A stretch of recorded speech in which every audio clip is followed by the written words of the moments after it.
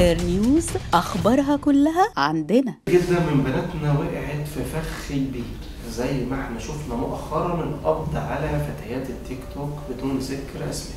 كتير جدا من محبي الشهرة اللي بدأوا إن هم للأسف يت- يتاجروا بأجسامهم ويتاجروا بأشكال غير مألوفة وغير مسبوقة تحت مسمى الإبداع. فيديوهات كتير اخترقت مجتمعنا المصري وابتدت إنها تعكس صورة غير سوية لأخلاق فتياتنا المصرية.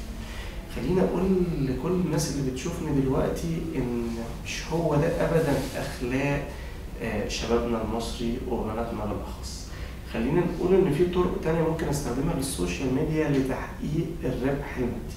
النهارده ممكن نستخدم ال- ال- التكنولوجيا إزاي ونكسب فلوس وإحنا قاعدين في البيت. خلينا أقول عن طريق ثلاث حاجات بشكل سريع جدا. أول حاجة إحنا عندنا منصة اليوتيوب. لو أنا عملت channel على اليوتيوب وابتديت إن أنا أقدم محتوى هادف يهم كل البنات على أساس إن اللي بتقدم المحتوى ده بنت أقدر إن أنا أحصد العديد من المشتركين وساعات المشاهدة التي يسر لي بعد كده تفعيل الربح عن طريق اليوتيوب.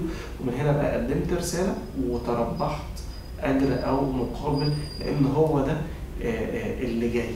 الجانب التاني إن أنا ممكن أعمل مدونة WordPress أو عن طريق آه، آه، مواقع أخرى زي ال blog أو غيرها من المدونات اللي ممكن إن أنا أبتدي أنشر بعض المقالات اللي تفيد كل بناتنا بالنصائح آه، الفريدة أو اللي ممكن أقتبسها من أكتر من مجال وابدأ أكسب فلوس عن طريق شركة Google AdSense اللي بربطها بالموقع إحنا ممكن نساعد ده بشكل آه، آه، free خالص بشكل مجاني وننشر مجموعة من الفيديوهات اللي إزاي ممكن نصنع منها ده.